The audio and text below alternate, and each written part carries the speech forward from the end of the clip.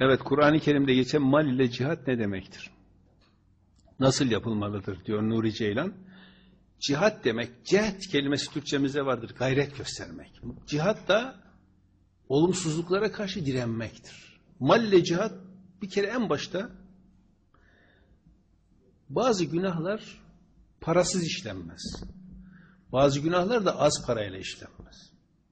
Senin eline para geçtiği zaman günah kapıları açılır. Önce sen kendini oradan tutmakla büyük bir cihat yapmış olursun. O kapılardan girmemekle. Sonra da o malı hayra harcamakla büyük günah yaparsın. Şey sevap işlemiş olursun. Kolay mı? Öyle malını çıkarıp vermek her baba yiğidin kârı mı? Allahü Teala insanlara yaratılışta mal sevgisi vermiş. Yeni küçük çocuklara bakın daha küçücük bir çocuk oyuncağın elinden alabiliyor musunuz? İşte mal, mal sevgisi var her insanda. Ama o malı Allah için verebilmek var ya gerçek bir cihattır. Allah'ın emrettiği şekilde kullanabiliyorsan onun için Allahü Teala iyi insanları vasıflarını anlatırken Müminun suresinin en başında ne diyor?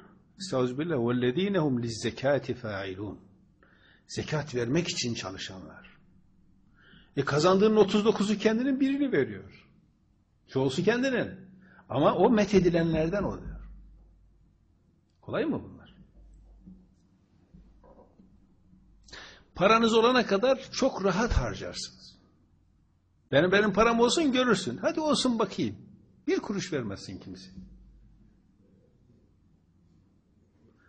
Şimdi öyle birisi şey yapıyor. Benim param olsun vereceğim vereceğim diye böyle hava atan birisine Allahü Teala verdi mal mülk. Dedim ki Allah rızası için hiç para epey zaman sonra aradan epey zaman geçti. Allah rızası için bir yere bir şey verdin mi dedim. Vereceğiz hoca, Aziz Hoca vereceğiz dedi. Canım verecek misin demedim. O en e, günahkara da sorsan tevbe edeceğimdir. Kardeşim verdim mi diye soruyorum. Verdim mi? Vereceğiz. Ya bak bir lira dedim. Bak bir lira.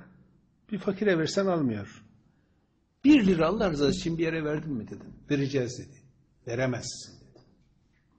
Ben sana yemin edeyim ki veremezsin. Senin bütün hayır damarların kurumuş. Oradan hiçbir şey geçmez.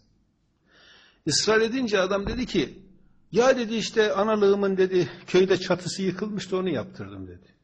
Onu Allah rızası için yaptırmamışsın. Köylü seni, seninle alay ediyor onun için yaptırmışsındır dedim sesini çıkarmadı. Böyle kolay mı? Bizim hocalar çok şey yaparlar. Verin derler. Verin demek kolay. Vermek kolay mı? İşte bu gerçek manada bir cihattır. Böyle kolay bir şey değil. Laf, laf herkes yapar da fiili yapamaz. İşte adam orada onu onda başarılı olanlara sadaka ifadesi kullanılıyor. Demek ki adam sadıkmış. İddiasında haklıymış.